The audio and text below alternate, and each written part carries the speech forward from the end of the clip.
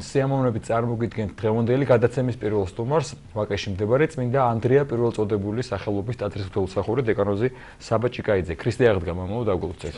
დიდი მადლობა ჩვენთან სტუმრობისთვის. მამა საბა, მარადილულ თემაზე უნდა ვისაუბროთ, სიყვარულზე. ივანე ღვთისმეტყველმა ფანტასტიკურად გამოხატა, ალბათ ყველაზე კარგად, რა თუ შეიძლება გამოიხატოს ღმერთი, ღმერთი არის სიყვარული. ღმერთი რაც არის ღმერთი და რა არის სიყვარული და ეს უწოდებენ ივანე ღვთისმეტყველს სიყვარულის მოციქულს. აა ყველა ვიცით რომ სიყვარული უზენაესი გზნობა, რომ ღმერთმა სიყვარული შექმნა სამყარო და დღეს ალბათ თანამედროვე კაცობრიობა და სამყაროს თუ რამე აკლია, ეს არის ალბათ ჭეშმარიტი სიყვარული, ხო? აი, სწორედ სიყვარულზე გვინდა თუ ისაუბრობ, წინვალი შვიდეულია, თავში თქვი და განსაკუთრებით აი საღდგომო დღესა სადღესასწაულო განწყობა სუფებში, სუფებს ყველაში, საოცარი მადლი ეფენება ამ დროს სამყაროს, მაგრამ მე ნელ-ნელა ნელდება ხოლმე ეს ყველაფერი და გვავიწება, რომ მაინც ყოველთვის არის მაუძრავებული ძალა ყველაფრის სიყვარული. მადლობას მოგეხსენებთ მოწვევისთვის. მეორედ მიწევს უკვე თქვენი სტუდიის სტუმრობა და მიხარია ძალიან. მით უმეტეს რომ რაც ისე დღეებში დაემთხოთ წინვალი შვიდეულის პარასკევია დღეს. მართლაც აღდგომ სიხარულის უფევს და არათუ მარადიული გზნობა არამედ აი მართლაც ჭეშმარიტად სწორად ზამით თქვენ და ეს არის თემა ეს არის გზნობა რომელზეც შეიძლება მარადილად ისაუბრო. ალბათ ყველაზე მეტად მართლაც დღევანდელ დღეს უხდება სიყვარულის თემა იმიტომ რომ აღდგომა უფლისა ეს არის ყველაზე დიდი სიყვარულის გამოხატულება. ეს არის სიყვარულის კულმინაცია, ისაც ღმერთმა გააკეთა. გასაკვირველია უფალმა უდიდესი სიყვარული შექმნა მთელი სამყარო და მთელი სამყარო თავისი არსებობით სხვა არაფერია თუ რა ღმერთის სიყვარულის გამოხატულება. საეკლესიო სწავლებაც სწორედ ესეთი გახლავთ, რომ ერთადერთი მიზეზი რის გამოც ღმერთმა სამყარო შექმნა, ჩვენ ვიცით, რომ ღმერთი უჭირველია, ღმერთს არაფერი არ ჭირდება არავისგან არასოდეს. ღმერთი ბედნიერი იყო მაშინაც, როდესაც იყო მხოლოდ თვითონ და არ არსებობდა არაფერი სხვა ღმერთის გარდა. რაში დაჭირდა ისმის კითხვა ხო ღმერთს მთელი სამყარო შექმნა. როგორც მამები გვასწავლიან და ეკლესია გვასწავლის, ეს იყო მხოლოდ და მხოლოდ ღმერთის უდიდესი სიყვარულის გამოხატულება, ესე ხატოვნად ამბობენ ხოლმე, რომ თითქოს ღმერთმა თავის თავში ვეღარ დაიტია ეს სიყვარული, რა თქმა უნდა, ეს უბრალოდ ხატოვანი გამოთქმა. ვეღარ დაიტია და გადმოღარა ეს სიყვარულიო. რომელიც გამოიხატა მე აი ესეთი თვალუწვდენელი და ესეთი ულამაზესი სამყაროს სახით, რომელსაც დღეს ჩვენ ხედავთ. და გვირგვინი აი ამ სამყაროსი და მთელი ქმნილებისა ადამიანი. აი ეს გახლავთ სწორედ უწვერვალესი შემოქმედება ღმერთის სიყვარულის ადამიანი, რომელიც შექმნა მან თავის ხატად და მსგავსად. ალბათ მართლაც რამხელა სიყვარული უნდა იყოს, წარმოიდგინეთ ახლა შემოქმედის მიმართ, რომ თავისნაირად შექმნას ქმნილება. ღმერთებად შექმნა ჩვენ.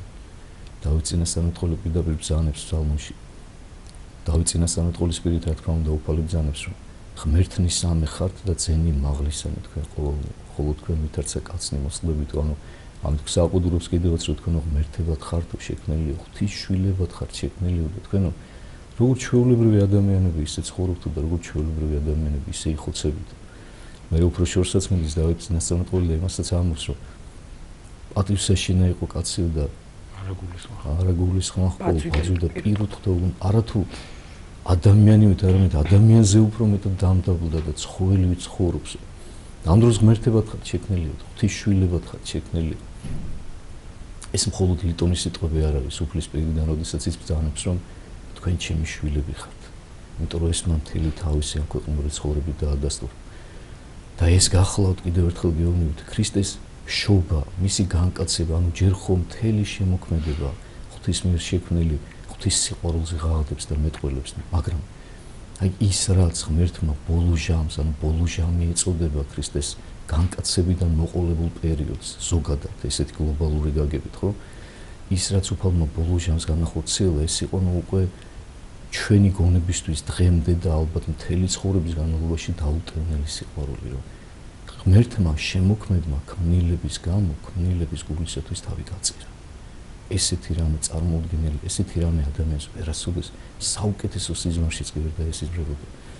ამიტომაც ბძანებს პავლე მოციქულიო ამ სოფლიურის სიბძნისათვის, ამ სოფლიურად მოაზროვნე ადამიანებისათვის ჯვარცმული ქრისტე, ჯვარცმული ღმერთი, ეს არის სისულელი, გაუგებარი, დაუტევნელი გონებაში შეუძლებელია რომ ადამიანის გონებაში დაეტიოს ჯვარცმული შემოქმედი. შემოქმედი იმის შემოქმედია რომ იმას უნდა ადიდებდე იმას უნდა სწირავდე მსხვერპლს და ის რომ შემოქმედი აქეთ ქმნილებას შეგეწიროს ესეთი რამე წარმოუდგენელი ესეთი რამე გაუგებარი არათავდაბალი სიყვარულს მოკლებული ამპარტავანი ადამიანის გონება ამას ვერასოდეს ვერ დაიტევს ვერასოდეს ვერ დაიტევს ვერ გაიგებს იმიტომ რომ მისთვის უცხოა ეს. ადამიანი ან ეგოისტია ან მოსიყვარულია იმის დამეხებით მასში თავდაბალია საფუძველი თუ ამპარტავნული. ამპარტავნული საფუძვლის მქონე ადამიანი ვერასოდეს ვერ მიხვდება სიყვარულს ის მხოლოდ და მხოლოდ საკუთარი თავისკენ მოითვლის ყველაფერს მას უნდა რომ ყველაფერი მიუძღვნა მას უნდა რომ შეცილო მისთვის უნდა რომ იცხოვრო თორე მსხვერპლი მისთვის უცხოა არ და რა არის სიყვარული მოდი ვთქვა ახლა ეს ხო ეს უნიშნელოვანესი თემაა რა თქმა უნდა დღევანდელი ჩვენი საეთერო დრო ჩვენ არ გვეყოფა რა თქმა უნდა ეს უზარმაზარი თემა რომელზეც მართლაც დაუსრულებლად შეიძლება ვისაუბროს ადამიანმა.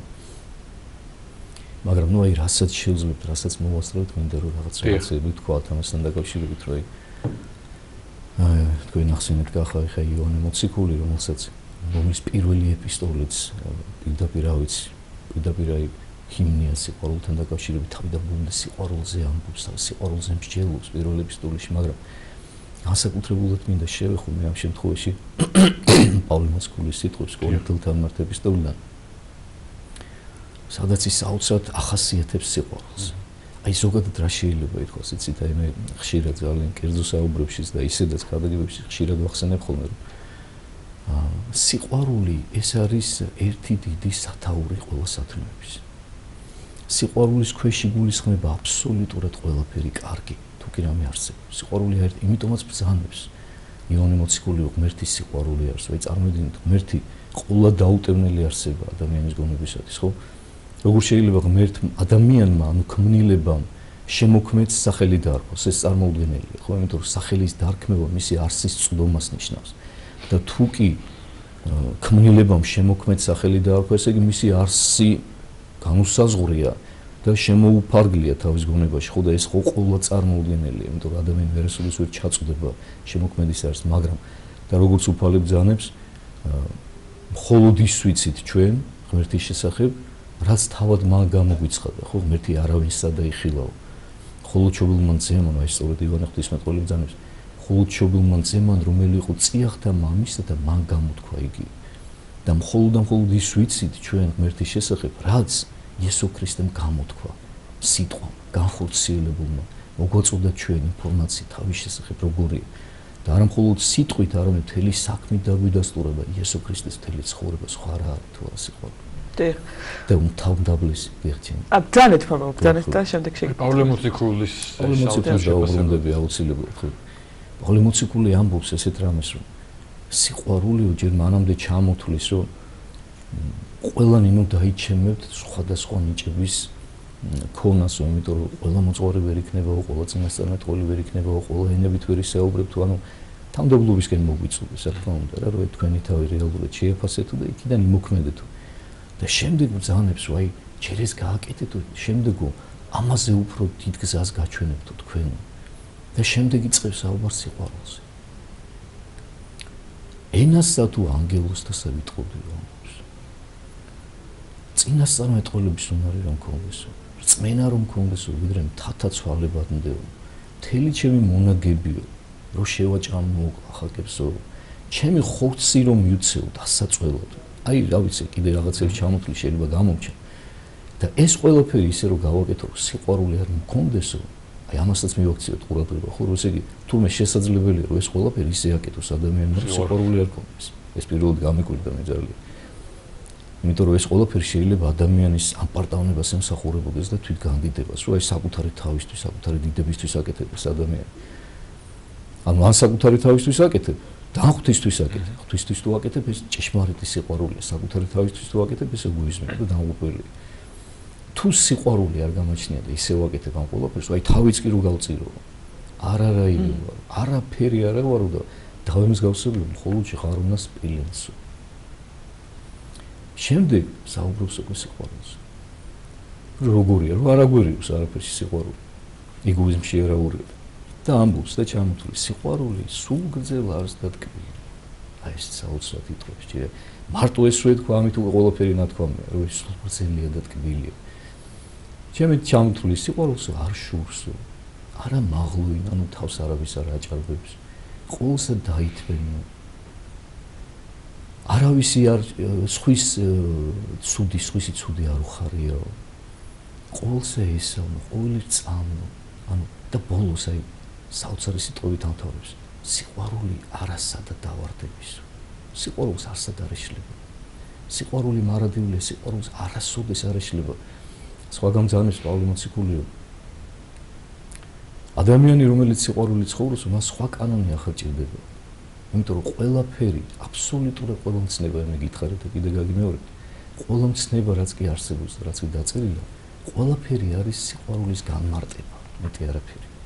უბრალოდ შეიძლება უბრალოდ ეთქვა რომ გიყვარდეთ ერთმანეთი და იცით რომ იონე მოციქული ბოლო წლებში მხოლოდ და მხოლოდ ამას ამბობდა. გიყვარდეთ ხალხო ერთმანეთი და რამე სხვა გითხარიო ეუბნებოდნენ და ამაში ყველაფერია უკვე ნათქვამია და აი მართლაც ესეა აი როგორ შეიძლება მაგალითად სიყვარულით ცხოვრება ადამიანს შეახსენო რომ კაცი არ უნდა მოკლდეს ხო შეუძლებელია მან იცის რომ კაცი არ სიყვარულს შეიძლება შეახსენო რომ მშობელს პატივი უნდა სცეს, რომ ცილი არ უნდა დასწამოს, რომ სხვისი არ უნდა მოუნდეს, რომ არ უნდა მოიპაროს, არ უნდა იმრუშოს. ეს წარმოუდგენელია, იმიტომ ეს ყველაფერი სიყვარულში წერია. და ბრძანებს კიდევაც ივანე მოციქული რომ ადამიანი რომელშიც ღმერთის თესლი იმყოფებაო, ღმერთის თესლი სხვა არაფერია თუ არა სიყვარული, ხო, მას არ შეუძლია სულს. არ შეუძლია განა, იმიტომ რომ მას უკვე ნება წაერთვა და რობოტად გადაიქცა, არა. უბრალოდ იმიტომ რომ მას არ შეუძლია ღმერთს უღალატოს. აი რა უცნაურია, ხო აი ბევრჯერ ახლა ბევრ ცოლქმართან მიწევს საუბარი და ეს სიყვარული ესე ყოველდღიურ ცხოვრებაში ყოველთვის რაღაც სოქრულ და ქალოჯურ ურთიერთ ურთიერთობასთან ასოცირდება, ხო და ძალიან ხშირია ხა ჩვენ ხშირად ვიწევს სასულიერო პირებს შეხება ახლა ამ თემასთან და ყოველთვის ვიუბნებით ხოლმე ესეთ რაღაცას, აი ყოველთვის აი რამდენჯერაც მქონია ხოლმე საუბარი რა რომ სიყვარულს არ შეეშლება. აი როგორც აი მაგალითად მეუღლეს ვერ უღალატებ. განა არ ღალატო, მხოლოდ უბრალოდ ვეღარც ღალატო, თუ კი გიყვარს, აი როგორ შეიძლება უღალატო მეუღლეს? აი მართლა წარმოუდგენელია, ხო? თუ შენის გიყვარს, როგორ უღალატებ? ესე იგი თუ ღალატო, ესე იგი არ გიყვარს, ესე იგი სადღაც გეპარება შე რაღაცა უსიყვარულობა, ეგოიზმი. იმიტომ რომ ეს ღალატი ყოველთვის ეგოიზმის გამოვლინებაა. და ეს შეგვიძლია ჩვენ განაზოგადოთ უფალთან მიმართებაშიც. ზუსტად იგივეა სამშობლოსთან მიმართებაში აბსოლუტურად ერთი და იგივეა და სიყვარულს სწორედ ამით გვიფასებს ჩვენ ღმერთი ღმერთისადმი სიყვარულს ღმერთი უხილავია და ამიტომ ღმერთისადმი სიყვარული როგორ უნდა დაინახოს უფალმა და როგორ უნდა დაგვიფასოს ჩვენ? თუ ჩვენ ადამიანები თუ ჩვენ სამშობლო გვიყავს მამო აი თუ კი თანამედროვე ჩვენს ქვეყანაზე თანამედროვე დროში ვისაუბრებთ სიყვარულის უდიდესი განუზომელი მაგალითი არის ჩვენი პატრიარქი, გვაძლევს ამის მაგალითს. ის ძალიან ხშირად საუბრობს ხოლმე, ჩვენი პატრიარქი საუბრობს სიყვარულის ნაკლებობაზე. თქვენი აზრით, აი რა არის ამის მიზეზი? დღევანდელ ქვეყანაში ჩვენთან საქართველოში, აი სოციალურ ქსელში ეს ძალიან ხშირად ესე ნათლად წარმოჩინდება ხოლმე, ასევე ტელევიზიებითაც და აი ძველი ქართული ანდაზა არის, რომ კოკოსაშინა რაც დგას იგივე წარმოსდინდებიშო და რამდენად შეიძლება ეს ჩვენი სულიერი ცხოვრების ანარეკლი იყოს, ეს რაც თქვა თუნდაც რაც სოციალურ ქსელში ჩანს, ან რაც მასმედიით ჩანს. რასაკვირველია, აბსოლუტურად ეგრეა, როგორც თქვენზემოთ. რა თქმა უნდა, ეგრეა, რომ რაც დგას ჩვენში, იგივე წარმოდინდების აბსოლუტურად. რაც შეეხება იმას თუ რა რატომ ხდება ეს ყველაფერი და რის გამო არის, მე ისე უფლის სიტყვებით გიპასუხებ. უფალი ბზანებს მათე სახარების 24 თავში, როდესაც მოციქულები ეკითხებიან მას ეს კათოლიკურ საკითხთან დაკავშირებით, როდის იქნება მეორე მოსვლა, როგორ იქნება მისი დიდები დაბრუნება ამ ქვეყანაზე, ის ჩამთვლის წინანიშნებს შემდეგ ამბობს უკვე როგორ მოხდება ეს ყველაფერი. და ერთ-ერთ ყველაზე მნიშვნელოვან ნიშანს, რომელზეც ალბათ ყველაზე მეტად უნდა გავამახვილოთ ყურადღება, აი მეორე მოსვლის წინა პერიოდისას უფალი ესეთ რამეს ამბობს, რომ აა უშჯულოების გამრავლების გამო გახმებოს სიყვარული ადამიანთა გულებში. აი მიზეზი. ანუ რა არის მიზეზი სიყვარულის ნაკლებობის და სიყვარულის გახმების? უშჯულოების გამრავლება. უშჯულობა რა არის? ის რაც ცოდვაა, ის რაც ღვთისთვის მეუღებელია, ხო? რატომ მრავლდება? იმიტომ რომ ამას უწყობს ხელს ჩვენი ეგოიზმი, მეტრო ჩვენ არ გვინდა რომ ფალს დაუჭიროთ. აი როგორც მოგახსენებთ, აი სწორედ ამაშია ისევ საქმე, რომ ყველა სათნოება საბოლოო ჯამში სიყვარულია. აი ჩვენ წინა გადაცემაში, როდესაც მე ვიყავი თქვენ სტუმარი თამდელობასთან დაკავშირებით ვისაუბრეთ, აი მე მაშინ ვახსენე თამდაბლობა არის მეთქი საფუძველი რომელზეც აღმოცენდება ყველა სათნოება და ამ სათნოებების მწვერვალი გახლავთ სიყვარული. ანუ სიყვარულს სწავლა ჭირდება. სიყვარული არ არის ის რაც ადამიანებს გონია დღეს სიყვარული არ არის მუცელში პეპლები და რაღაცა ჟრჟოლა და რაღაცა თრთოლვა მიუხედავად იმისა რომ მინდა გითხრათ რომ ამის ძალიან დიდი გამოცდილება აქვს თვითონ მე და ძალიან ვაფასებ ამ გზნობას აი ამ ტრფობის გზნობას მაგრამ ეს არ არის სიყვარული. სიყვარული რა არის? აი როდესაც უჯახი იქმნება ხოლმე მე ყოველთვის ვეუბნები ხოლმე რომ სიყვარული არ არის ის რაც თქვენ გონიათ დღეს თქვენ ჯერ ერთმანეთი არ გიყოს სხვა არის შეყვარებულობის გზნობა და განცდა და სხვა არის სიყვარული. სხვადასხვა რამე სიყვარული სულიერი მდგომარეობა და ის ემოცია ის განცდა რომელსაც თუ არ გაუფრთხილდი და თუ ის სიყვარულში არ გადაიზარდა გაქრება აუცილებლად. და ვეუბნები რომ სიყვარული არის ერთმანეთისთვის ცხოვრების უნარი. აი საკუთარს არ ეძიებს პავლე მოციქული რომ სიყვარული სხვისას ეძიებს სიყვარული სხვისით არის ბედნიერი შენ რომ გაგახარებ მაშინ მალე ბედნიერი? აი ის მსხვერპლი სიყვარული სიყვარული თავდადება სიყვარული მოთმინება სიყვარული დათმობა სიყვარული სხვისთვის ცხოვრების სურვილი და უნარია. აი ეს არის სიყვარული შეუძლებელია რომ ადამიანი სიყვარულით არ ცხოვრ აი თუ შენ მისთვის არ გინდა რომ იცხოვრო მაშინ არასწორ საფუძველზე ქმნი ოჯახს თუ შენ შენთვის გინდა რომ აი ესეთი დამოკიდებულება არსებობს ორგვარი, ერთი ეგოისტური, ერთი ჯანსაღი და სიყვარულის მიერი დაოჯახების წინ, რო თქვა მაგალითად ადამიანი ფიქრობს, რომ მინდა მოვიყვანო ცოლი, რომ კარგი ცოლი მინდა მყავდეს, თქვა, კარგი შვილები მინდა მყავდეს. ეს ეგოისტური დამოკიდებულება, ან თუნდაც გოგო რო ფიქრობს, რომ მინდა გავთხოვდე, რომ კარგი ქმარი მყავდეს. მყავდეს და მინდა მყავდეს, ეს კუთვნილებით ეს ეგოისტური დამოკიდებულებაა და სწორი დამოკიდებულება და სიყვარული რა არის? მინდა ოჯახი შექმნა რომ მე ვიყო კარგი ქმარი. მე მინდა ვიყო კარგი. ანუ მინდა ვიყო და მინდა მყავდეს, აი ორი განსხვავებული დამოკიდებულება, ხო? მინდა ვიყო გამოხატავს მსხვერპლს შენს დამოკიდებულებას რომ შენ გინდა ფიანდაზე დაიფინო, შენ გინდა მისთვის იცხოვრო, შენ გინდა მას შეუქმნა კომფორტი, შენ გინდა რომ მას გაულამაზო ცხოვრება, ამისთვის გინდა იცხოვრო. და მინდა მყავდეს, მინდა მყავდეს, ეს არის უკვე სულ სხვა დამოკიდებულება რომ მე კარგი ვარ, საუკეთესო ვარ, აქ მოცემულობაში გულისხმობა უკვე და შესაბამისად საუკეთესო მჭირდება და აბა ერთი არ გამართლოს და მე ხდება მიკროსკოპით ყურება ერთმანეთის ნაკლზე და ნუ მოკლედ თუ რაღაცა ისეთი არ აღმოჩნდა, რაღაცა თუ მოსათმენი აღმოჩნდა, უფ, ესე მისამართი შემეშალა ოჯახი უნდა დავანგრიდ. ეს არ არის სიყვარული. სიყვარული ზუსტად ის არის, როცა შენ ცხოვრობ მისთვის და მის სურვილი გაქვს, მსხვერპლია, თავდადება, თავგანწირვა და ეცა სანთლები უჭირავთ ხოლმე ხელში. ეს უეუბნები ხოლმე რომ სიყვარული არის სანთლის მსგავსი. და რა არის ეს? აი სანთლის არსი რა არის? სანთელს ხო მხოლოდ სიმბოლური დატვირთვა აქვს ქრისტიანობაში და ამის უმთავრესი სიმბოლიკა რა არის? სიყვარული სწორი. სანთელი იწვის თვითონ იმისთვის რომ გავაკეთო სხვას და იმას უეუბნები ხოლმე ეცოლკმარს ყოველთვის რომ ეხო გეჭიროთ ხელში სანთლი. აი ეს არის თქვენი სიყვარულის სიმბოლო. თქვენ ერთმანეთისთვის უნდა დაიწყოთ, ერთმანეთისთვის უნდა იცხოვრო და ამით უნდა იყოთ ბედნიერი, როგორც უფალმა. აუტკივარი თავი აიტკივა, ხო შეიძლება ესე ითქვას. ვინ აძალებდა, მოდი დავსვათ შეკითხვა უფალს, რომ ჩვენი გულისათვის თავი გაეწირა. აი ვინმე დააძალა, ეხა ღმერთზე უფრო აღმატება, მას ხო კიდე ღმერთი არ აქვს, რა თავის. ანუ ღმერთია რა. არავინ არ აძალებდა. ერთადერთი აი სიყვარულს ხვანაერად არ შეუძლია. არ შეეძლო ხვანაერად. სიყვარულს ხვანაერად არ შეუძლია. სიყვარული ესეა ადამიანურ ურთიერთობებში ესეა. მშობელი ყოველთვის ზათარი თავი გაწიროს ყველაზე უღირსი შვილისთვისაც კი. და ამას აკეთებს კიდე ყოველთვის აკეთებს მიუხედავად იმისა შვილი დაუფასებს თუ არ დაუფასებს. უფალმა კარგად იცოდა რომ იმ სიყვარულის ფასად რასაც ის თესავდა მხოლოდ და მხოლოდ უმადურობას მოიმკიდა ადამიანებისაგან და ჯვარს მიუწუნიდნენ მას.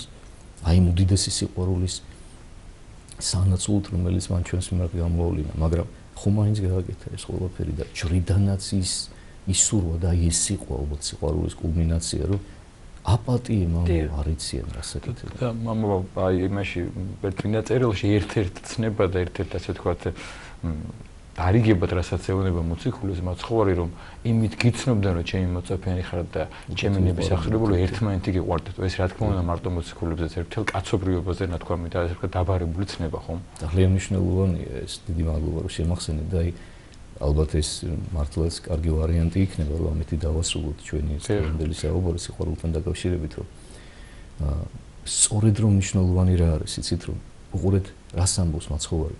ცნებასა ახალსა მიქცემთ თქვენ. ახალ ცნებას გაძლევთ რათა იყარებოდეთ ურთიერთას უთა შეიძლება გაგვიკვირდეს რა არის იმაში ახალი იმიტომ რომ ეს ველცნება ზოლათქმაშიც იყო იყარდეთ მაგრამ აი სიახლე რა შემდგომარეობდა ნახეთ. რაითა იყარებოდეთ ურთიერთას, ვითარცა მე შეგიყვარეთ თქვენ. აი მე როგორც შეგიყვარეთ თქვენ, ისე რომ შეიყვარო თქვენ ერთმანეთი, იმიტომ რომ მანამდეო მოსმენელი ქონდა თუ რომ გველი გველისაწილო თვალი თვალისაწილო თუ კი ადამიანი გაგარტყავს შენს გაულაწუნება, მაგრამ ეხლა მე სხვა ნერსი ყველაზე ასწავლით. ის სხვა ფაზე იყო, მაგრამ ეხლა უკვე თავგანწირო. მე მინდა რომ უკვე ბოლომდე მართლა ღვთაებრივი სიყვარული გასწავლოთ, რომ ჩემს გავსნი გახდეთო. ღმერთი ხო იმისთვის განკაცდა, რომ ჩვენ განიღმრთოთ.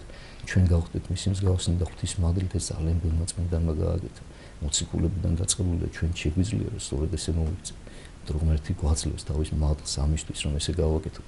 და ის სწორედ როგორც მან გვაჩვენა მაგალითი აი ეს თავგანწირვისა და თავადბძანებს რომ იმაზე დიდი სიყვარული არ არსებობს ვიდრე საკუთარი სული დასდოს ადამიანმა სხვისთვისო აი ესეთი სიყვარული გიყვარდეს ერთმანეთს და აი მაშინ მოხდება ყველა როცა შემოწაფები ხარ. დიდი მადლობა. შეგვიწია სულფადი რომ სიყვარულით გვეცხოვროს უღრმავი მადლობა ძალიან დიდი მადლობა. ცეცხლი შეგახსენებთ სიყვარულზე გვესაუბრებოდა ვაკეში მდებარე წმინდა ანდრია პირველწოდებული სახელობის ტაძრის ძველსახური დეკანოზი საბაჭიკაიძე